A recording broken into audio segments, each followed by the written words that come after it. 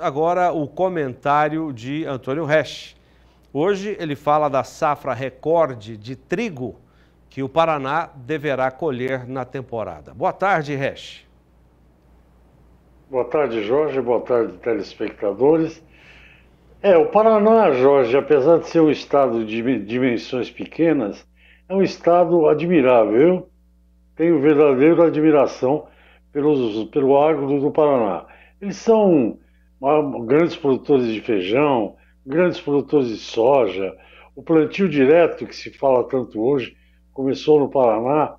E agora, é, hoje saiu um relatório do DERAL, Departamento de Economia Rural, lá da Secretaria da Agricultura e Abastecimento, a SEAB, dizendo que esse ano, muito provavelmente em setembro, a partir de setembro, está chegando. Está aí. O Paraná vai colher uma safra recorde de trigo.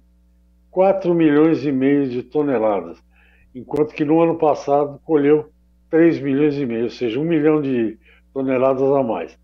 E essa safra, ela está muito bem encaminhada, porque já está quase na boca da colheita, né? Os técnicos do Deral falarem isso. E os técnicos falam, inclusive na questão de exportação, como o Brasil ano passado produziu 10 milhões e meio de toneladas, pode exportar 2 milhões e meio, eu nem acho que é tão relevante essa questão da exportação. Eu acho que o fato, o trigo é um cereal, pode ser mais básico, é fundamental na alimentação humana. E se o Brasil tiver trigo suficiente para não ser como foi há, muito, foi há muito tempo o maior importador de trigo, eu já acho uma grande vitória.